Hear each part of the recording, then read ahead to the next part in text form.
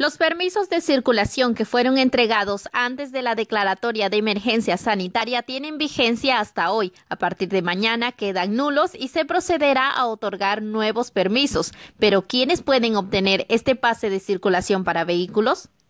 Entre ellos están las Fuerzas Armadas, Policía Boliviana, instituciones, empresas de servicios públicos, industrias públicas, privadas, entidades financieras, bancarias, entidades financieras no bancarias, públicas, privadas y mixtas entidades públicas, instituciones privadas y particulares que brindan atención y cuidado a la población vulnerable, debiendo establecer prioridades y la asignación del personal estrictamente necesario.